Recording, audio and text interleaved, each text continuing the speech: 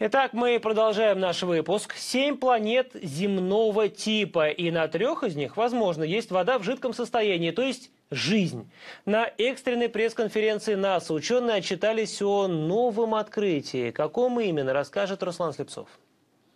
Все ждали, что расскажут про инопланетян. Ведь пресс-конференцию НАСА анонсировала как экстренную, важную и тщательно скрывала детали.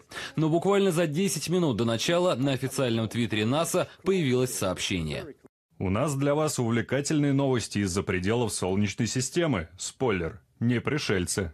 Впрочем, открытие, о котором объявили ученые, вряд ли кого-то разочаровало. На орбите вокруг одиночной звезды Трапест-1 созвездии Водолея ученые обнаружили семь планет земного типа. Но самое интересное, сразу три из них находятся в так называемой обитаемой зоне, то есть на них может быть вода в жидком состоянии, а это означает, что теоретически там есть жизнь. Звезда Трапест-1 настолько маленькая и слабая, ее масса всего 8% от солнечной, что на этих планетах нет аномальной жары. Температура комфортная, вполне земная. Открытие совершила команда Микаэля Жиона из Института технологий и астрофизических исследований Льежского университета в Бельгии. Мы сделали колоссальный шаг вперед. Это открытие поможет нам всем ответить на вопрос, который мучил многих философов на протяжении всей истории. Вопросы, которые в глубине души задает каждый из нас. Одиноки ли мы во Вселенной?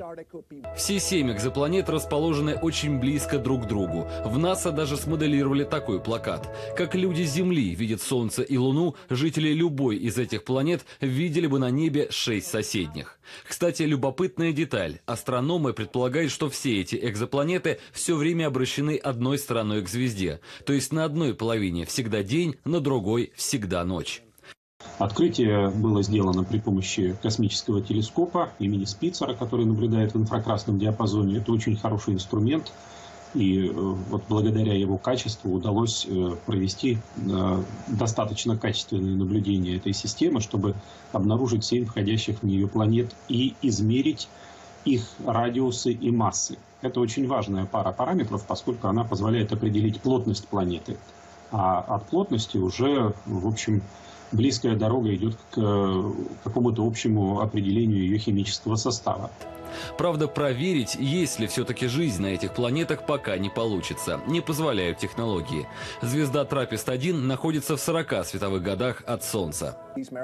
Космический корабль, который смог бы туда добраться, потребует и радиационной защиты, и изобретения нового поколения двигателей и топлива.